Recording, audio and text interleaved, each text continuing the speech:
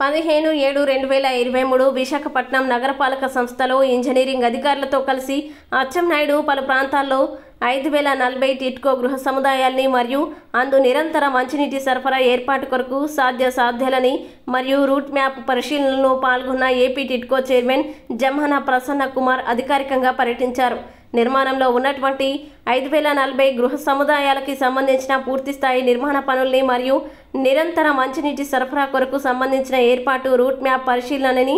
Contracting agency సిబ్బందితో కలిసి ప్రత్యేక హౌసింగ్ డే కార్యక్రమంలో పాల్గొని ఆయా పనుల పురోగతి పరిశీలించడం జరిగింది. కొండల మీద నిర్మిస్తున్న అచ్చెన్నాయుడు లోవా మరియు బానూజీ తోటల్లో ఇంజనీరింగ్ అధికారులతో కలిసి పర్యవేక్షించి వీలైనంత త్వరగా పూర్తి చేసి ఈ సంవత్సరం సెప్టెంబర్ ముప్పై నాటికి లబ్ధిదారులకి అందించాలని కాంట్రాక్టింగ్ ఏజెన్సీ వారికి అధికారులకి ఆదేశించడం జరిగింది.